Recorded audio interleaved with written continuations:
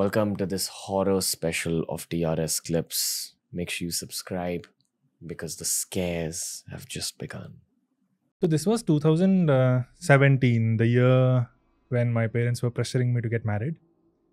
And I wasn't kind of, I don't know, I mean, uh, I'd gone to see a few girls and it was arranged marriage. And it was all looking okay, but something prevented me from taking the next step. So my parents were very, especially my mother, you know how moms are. My mother was very worried. Why is he like this? Why is he like this? So she went to an astrologer. And uh, she met him. She was convinced that he's a good astrologer uh, in my village only. And uh, I was working here in Bombay and I was actually planning to quit my job because I got my first film at that time, which was again a horror film. Okay. It's all interconnected. You'll see how. So the I quit my job and I was going to tell my mom that, hey, mom, I quit my job because I got a film. It's with a big director, which again was my, when I was a kid, I wanted to work with him. Okay, because I, that was the first movie I saw. It's his movie that I saw, which was again a supernatural movie Are you comfortable talking about yeah, which movie and it's Yodha. Okay. By Sangeeth Sivan. So he's a Malayalam filmmaker. He's done Hindi films, Kya Kool Hai Hum and and uh, Apna Sapna Money Money. Those are the Hindi films uh, he did. But the Malayalam film, which remains his masterpiece, it's Yodha. And as a kid, that was the first film my parents uh, took me to watch. So I was three years old or something, 92, year before you were born. And I don't remember anything, but that was what my mother tells me that this was the first film you saw in a theater. So, but then I watched the film later whenever it came on TV or something. But I always wanted this thing. I was like, I always felt close to him, close to him. But eventually, I en- I ended up working with him. I don't know how. Even he speaks about that. Hari, I don't know how this destiny is connected. There was no way that I would have worked with him, but it happened. Even my Hindi uh, debut was with him, Bhram. That was also directed by him. So, anyway, coming back to uh, this astrology thing. So I had uh, quit my job. I was coming back to Kerala, and I was like, uh, until then, wh- wh- wherever I went, I mean, for seeing the girls and all, for alliance and all, I was a corporate guy. I was working with the IT and uh, this thing. Now I was in a different field. I was stepping. I was. I took that detour from that normal, convenient life. This was a detour that I was taking, probably to fulfill that destiny. I don't know a lot of uh, uncertainties were there at that time. I went to Kerala and I was like, I told my mom, I quit my job. I got my first film. I'm working on the screenplay and I'll be in. And the place where the shooting was happening was called Haripad. So my mother was all freaked out. She was like, Are you crazy? You quit, quit your job. Why would you do that? I mean, this, that, this, that. You could have continued writing, you know, with the job. I said, No, I want, I want to make films. You know, I'm getting to work with my role model this is a chance of my lifetime. And she was very worried. So that's how she went to this astrologer. So now there were two problems. You have quit your job and the marriage thing. So this astrologer, he said a lot of things, and she was very convinced that he had this ability to tell the, or at least grab the truths. She called me. And then I told her, told her, don't tell him my real name because if he makes a search, by at that time I had only written two books. So even despite of that, if you make a search, you will get all the information, at least from social media. Hmm. Right. I told him, I told her, don't tell him my name. I don't want him to know anything about me. Let him guess. I was a skeptic. I went there. He didn't know my name. He just had my kundali. And he started. Uh, so in Kerala, we have these shells, conch shells that you kind of put it on a small chart and, you know, he meditated and then he started talking about me and he said this is your path. Okay. And i had written only two books till, till then. First book was not a horror. Second book was horror. He said something. Your life will be revolving around ghosts undead the other realm this is what he said. Occult. I mean, everything related to undead. Because that's your destiny. and then he started saying that your pitrus, your uh, your ancestors, they were involved in. Uh, they're all pandits, so some of them were tantrics, so uh, some of them were mantravadis. None of them from Kerala.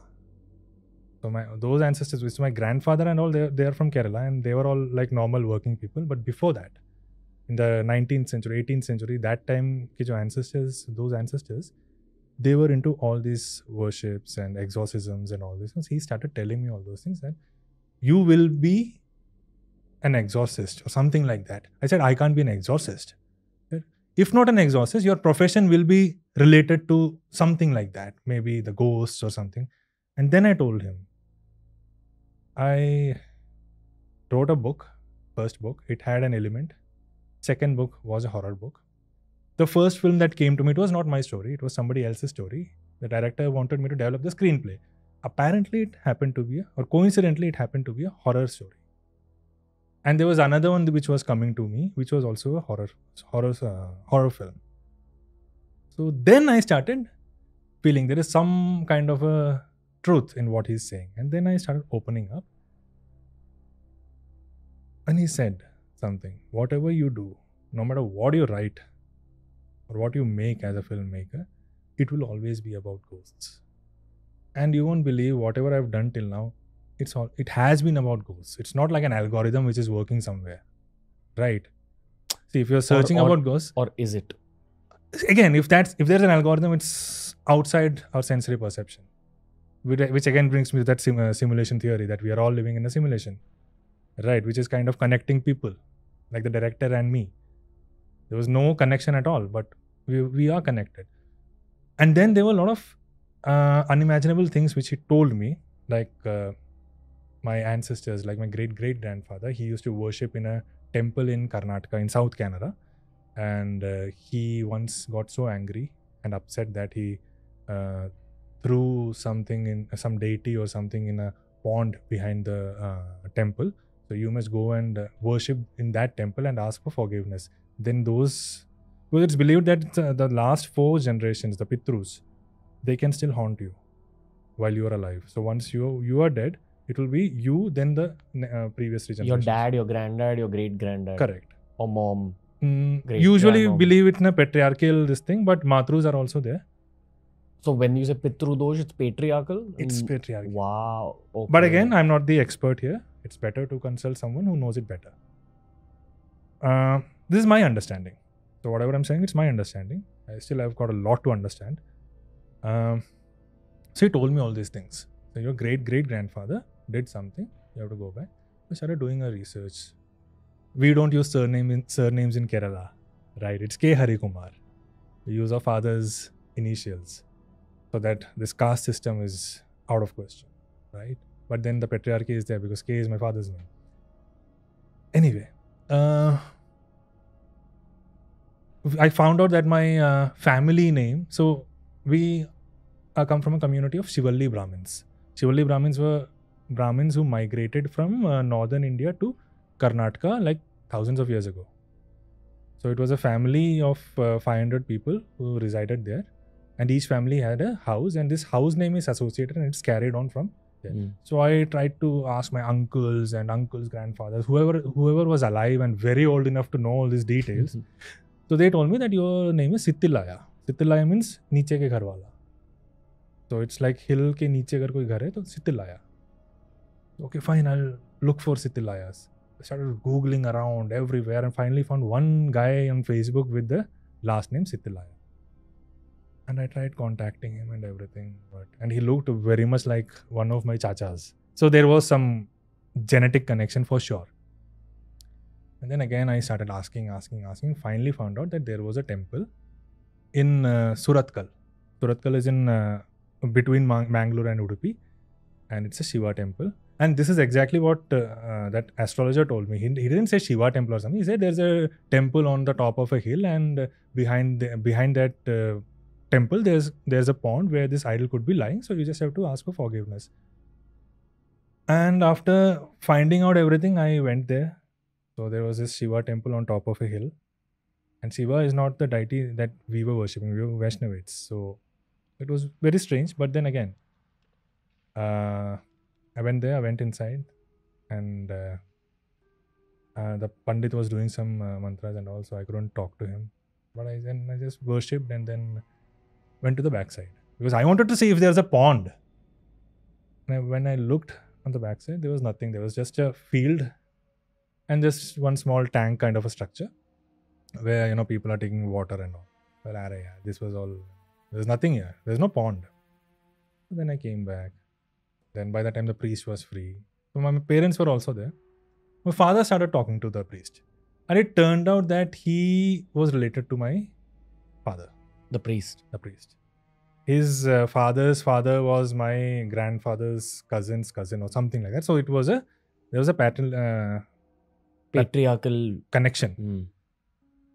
And here we started asking, and uh, so he had heard the story that my great grandfather used to be a priest there, and uh, he had some anger issues and all those things. And one day he got so angry that he threw some keys or something. Uh, we don't know whether it's in pond or anything, but he threw the keys and he left that place. And then he left for Kerala. Then after that, nobody heard from him for a long time. This was validated. This much. Now came the question of the pond. Where is the pond? So then the pond used to be there, but then we covered up. Now there's a small tank out there uh, instead of the pond. So now, I mean, again, it could be coincidence. How can an astrologer sitting there talk about this? Maybe he has heard about this story from his ancestors. You know, it's a back in the day. You know, the communities were very small. Maybe he must have heard it from his grandfather that there is a guy who migrated from Surathkal to here and he settled here. Maybe that's how he got the story, and because he made some connection that you know I'm also from that place, so it could be the same lineage.